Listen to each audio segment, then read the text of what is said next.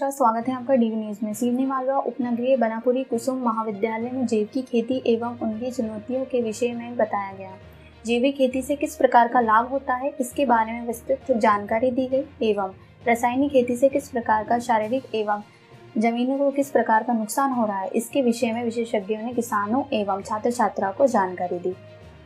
पर्यावरण को किस प्रकार का नुकसान हो रहा है एवं उसके दुष्परिणाम क्या क्या हो रहे हैं इसके विषय में भी जानकारी दी गई एवं विशेषज्ञों के द्वारा सलाह दी गई कि जैविक खेती पर अधिक प्रकाश डाला जाए। रासायनिक खेती से होने वाले दुष्परिणाम को भी बताया गया। आज हम खेती में कीटनाशक एवं रासायनिक दवाइयों का प्रयोग करते हैं। अपने आसपास के वातावरण एवं खेती को नुकसान पहुँचा रहे हैं, जिससे कि मनुष्य एवं जानवर को नई नई बीमारियों का सामना करना पड़ रहा है। और इसकी वजह से व्यक्ति अस्वस्थ होता जा रहा है, जिससे कई बीमारियाँ हो रही है, जिसके दुष्परिणाम हम आज सामने देख रहे हैं। जैविक खेती पर प्रभाव डालते हुए विशेषज्ञों ने सलाह दी कि जैविक खेती करना बहुत ही अनिवार्य है। हमारे आसपास का पानी भी दूषित होता जा रहा है। ये आने वाली पीढ़ी एवं मनुष्य के लिए बहुत ही चिंता का विषय है। ऐसी बहुत सी खेती एवं मनुष्य से जुड़ी बातों को विशेषज्ञों ने कार्यक्रम के माध्यम से साझा किया। फ़ायदा किसी भी खेती में नहीं। फ़ायदा तब होगा? जब कम से कम तिगुना लाभ मिले जैविक खेती वाले को, क्योंकि वो बेचारा बहुत बड़ी जोखिम उठाता है। इतना खेती का भाव गिर, अनाज का भाव इतना कम हो गया है। हमने बताया ना सत्तर के दशक का, कि सत्तर के दशक में जैसे हमने सोना को क्यों नाम दिया इसलिए किया कि अंतर्राष्ट्रीय बाज़ार को नियंत्रित सोना करता है।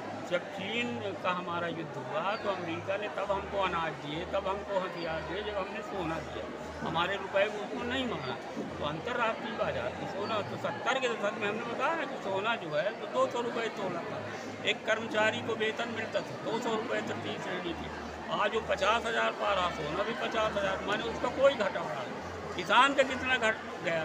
कि सत्तर के दशक में कोई अपना पाँच मन चावल बेच दे छः मन गेहूँ बेच दे तो एक तोला सोना मिल जाता था। आज अगर हम सौ माने दस ग्राम भी सोना लेना चाहें तो हमको अपना बीस क्विंटल चावल, पच्चीस क्विंटल गेहूँ बेचना पड़ेगा। माने हमारा किसानों कितना घट गया? दस गुना घट गया। हरित क्रांति से उत्पादन बड़ा तो तिगुना हो गया। तो मतलब फिर भी हम साठ पैसे घाटे में सभी विद्यार्थी आगे से आके बैठ जाइए। उसको भी वही भाव में लोग लेंगे लोग ना। प्रथम पंक्ति से बैठना शुरू करेंगे। जो जैविक अनाज है उसको कम से कम वो जो उगाता है उसके भी बाल बच्चे हैं उसके भी पेट मुँह पेट है तो कम से कम उसको तिगुना भाव मिले। क्योंकि पहले सत्तर जब तक हरित क्रांति नहीं आई थी तो हर आदमी अपने उस आमदनी का पचास परसेंट भोजन में खर्च करता था वो पाँच परसेंट नहीं खर्च कर रहा तो कम से कम वो पंद्रह परसेंट करे तो उसको बढ़िया भोजन मिलेगा जैविक अनाज मिलेगा जिसको कहते हैं। और पाँच परसेंट करेगा तो वही मिलेगा जैसे मिल रहा है, फिर हो जाएगा ना। तो अगर कोई, माने इसलिए ज़रूरी है जैविक अनाज के उत्पादकों को, समाज को चाहिए कि उन पर ध्यान दें, उनकी समस्या भी देखें तब जैविक अनाज की खेती हो पाएगी। पाएगा क्योंकि इतना भाव गिर गया कि कोई फ़ायदा नहीं है। कोई हमको बता देना जो खेती होती है, क्या होता है जैसे चार तरह के किसान हैं। एक तो वो किसान है कि सचमुच किसान है जो खेती करता। है दूसरा ऐसा कि शहर में रहता है, यहाँ ज़मीन है तो किसी को बता ही नहीं देती है। तीसरा ऐसा किसान है, यहाँ के सेठ साहूकार है, जो नंबर दो के धंधा को नंबर एक का बनाने के लिए खेती करते हैं। चौथा किसान, माने इस तरह के तीन प्रकार के किसान है ना।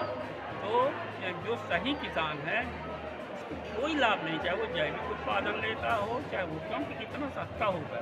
तो माने जैविक के लिए एक अलग नीति बनना चाहिए।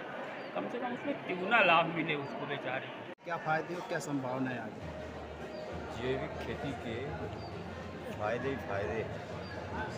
संभावनाएँ भी अपार हैं क्योंकि अपना पूरा देश का किसान है प्रदेश का किसान है औरंगाबाद नंबर जिला कृषि में नंबर एक है। तो जैविक खेती के पहले तो फ़ायदे मनुष्य को है, जीवन को है, जो आज रासायनिक खेती के द्वारा हमारे शहर, शरीर में कीटनाशक का और विभिन्न रासायनिक खादों का जहर धीरे धीरे बढ़ रहा है। इससे हम देख रहे हैं बीमारियाँ भी बहुत ज़्यादा हो रही पहले इतने लोग बीमार नहीं पड़ते थे। तरह तरह की बीमारियाँ, खतरनाक खतरनाक बीमारियाँ। पंजाब में तो एक कैंसर ट्रेन मतलब चालू कर दी उन्होंने। ये सब ये रासायनिक खेती के नुकसान हैं।